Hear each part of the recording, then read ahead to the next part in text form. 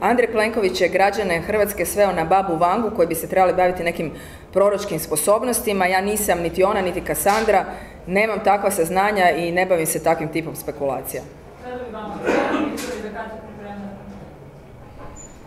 Izbori bi trebali biti što prije, zato što građani Republike Hrvatske imaju pravo na izvjesnost u izbornom procesu. To je u krajnjoj liniji bila i namjera zakonodavca kada je odredio da se izbori održavaju svake četiri godine. To nije značilo bilo kada u te četiri godine, nego je značilo da građani trebaju na vrijeme znati kada će biti izbori i time je zapravo prekršen i zakon. Kada ćete predstaviti Mostovog kandidata za premijera? Kada budemo znali kada su izbori u Republici Hrvatskoj, jer tada zapravo i počinje izborna utrka. Jeste li vi taj kandidat za premijera? Kada budemo znali, onda ćemo predstaviti kandidata. Ako vas pitaju stranci, jeste li spremni preuzeti tu odgovornost? Naravno da sam spremna preuzeti odgovornost za koju stranka procjeni da je najbolji izbor i tko može u ovom trenutku povući i za stranku i za Republiku Hrvatsku. Procjene Ponovo ne bavim se spekulacijama, mi ćemo dati sve od sebe. Pokazali smo tokom ove četiri godine da smo i najaktivnija, ali ne samo najaktivnija, nego i najkonstruktivnija oporba, jer imamo najviše obranjenih amandmana i zakonskih prijedloga, tako da vjerujemo da će to i građani u konačnici prepoznati. U ključnom političkom trenutku, kada je sama demokracija dovedena u pitanje, mi smo izašli na ulice, izborili se, skupili potpise za referendum i omogućili da se čuje mišljenje građana. Referendum vam je naravno ponovo oduzet, ali su se neke okolnosti tada ipak zbog toga promijenile.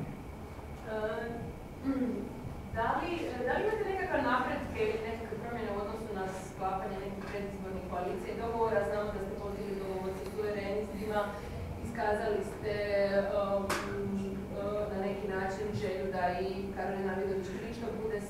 sa, vama zajedno na listama. Kako, kako u tom smjeru?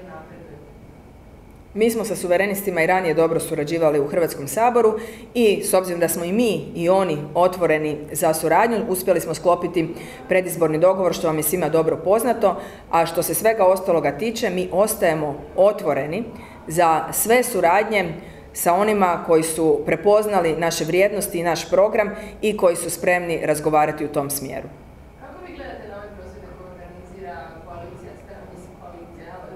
Od centra do, do ljevice? Sve stranke u ovo vrijeme imaju pravo na vlastite predizborne skupove, pa tako i ljevica. Mislite da to ima smisla? To je njihova procjena i njihov izbor. Oni imaju pravo na svoje predizborne aktivnosti. Izabrali su da je njihova predizborna aktivnost ovaj tip skupa i to je njihovo pravo.